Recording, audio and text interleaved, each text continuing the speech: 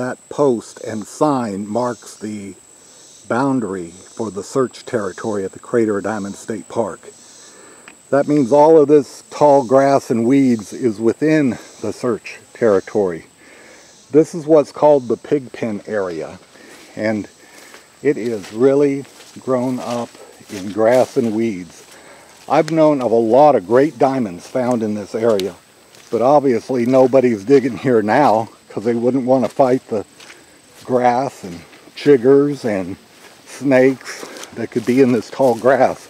I've dug holes right here in this area in the past looking for diamonds.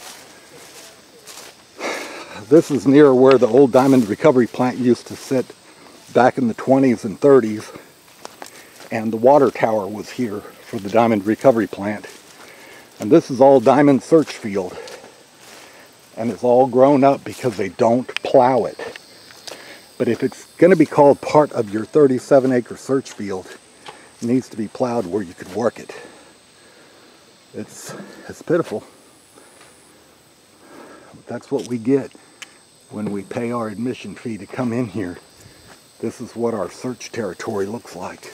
It never used to be maintained like this. It used to be cleaned up. Not so anymore.